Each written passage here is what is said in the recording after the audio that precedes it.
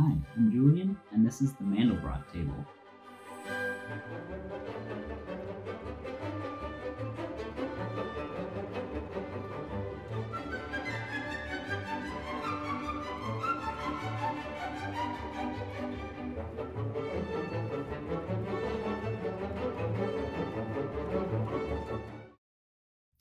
First things first, this video assumes a basic understanding of what the Mandelbrot set actually is, so if you need an introduction to the subject, I'll link some great content on YouTube below. So last year, I was watching a bunch of the aforementioned content on YouTube, and I thought it would be really cool to create a fractal explorer of my own. Even cooler than that, though, would be to create a fractal explorer that brought the Mandelbrot set into a more physically bounded, tangible space inside my home. In addition to that, I was kind of fascinated by the infinity mirror and epoxy coffee tables I was seeing on YouTube, but I wanted to create something that was uniquely mine. So a Mandelbrot Explorer coffee table was kind of a natural conclusion. Plugging in the table boots straight into the Mandelbrot set. From there, you can move around and zoom in and out on the Mandelbrot set. Pressing the second knob from the left, activates Julia set mode for the C value pointed to by the crosshair. A short press shows you the Julia set in place, which means that in our equation f of z equals z squared plus c, the first value of z is equal to c instead of 0. Long pressing the knob shows you the whole Julia set pointed to by the crosshair. From there, you can use the knobs on the right to move around like normal, or you can use the knobs on the left to change the Julia set you're looking at, as if the crosshair were still on the Mandelbrot set. The knob in the middle changes the exponent of the function being iterated, which gives us a multibrot, or a multi-Julia. This table has taken me about six months of on and off work from conception to finish, and most of that time was spent writing the software. When I conceived of this project, I had no idea what I would actually use to draw the fractals to the screen, and after a bit of deliberating, I settled on C++ and OpenGL. I did have experience with C++, but I had never used OpenGL before, so there was a bit of a learning curve getting started.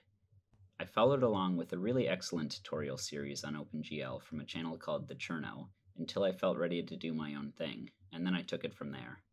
Once I had the basics down, drawing my first Mandelbrot set was pretty easy, but most of the challenge in this project was in building the Explorer and getting it to run smoothly on a Raspberry Pi. Let's take a look at the underside of the table and I'll show you what's going on underneath. Underneath the table, we have an IPS computer monitor. At first, I tried to go cheap and use a monitor from a thrift store, but the viewing angles when it was horizontal were so bad that it wasn't really feasible. This monitor isn't perfect, but the viewing angles are much better than a TN panel. The panel is mounted to a 12 gauge steel frame I cut from a sheet I got from a local metal fabricator.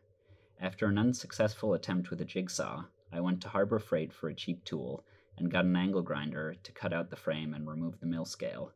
I designed some brackets to hold the monitor in place in Fusion 360 and 3D printed them, then JB welded them to the frame before spray painting the whole thing. Connected to the panel is a Raspberry Pi, which in hindsight probably wasn't the best candidate for this project. The Pi 4B is a pretty competent little machine for general computing, but the GPU is not that great, and it's iterating the fractal equation up to 400 times per pixel, which at 1080p gets really slow on the Pi.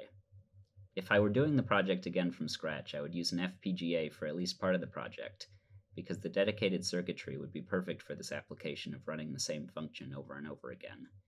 The way I worked around the limited capabilities of the Pi was actually to render to a texture that was smaller by a factor of 3 on both dimensions, so one ninth as many pixels, and then sample the texture back at full resolution.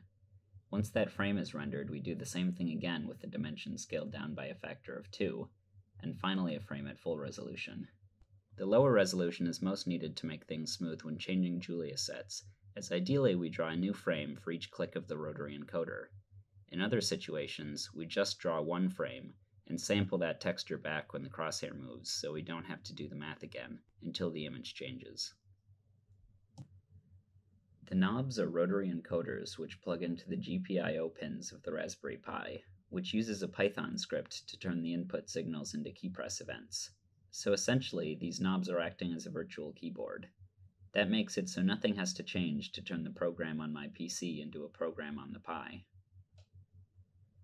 I originally intended for only the encoder shaft to come through the top of the table, but mistakes were made, so I designed and printed some plugs to fit in the holes, soldered everything up, and Bob was my uncle. If you'd like to play with the Fractal Explorer yourself, you can. Head over to my GitHub page, and there's a link to a Windows binary available to download. Thanks for watching!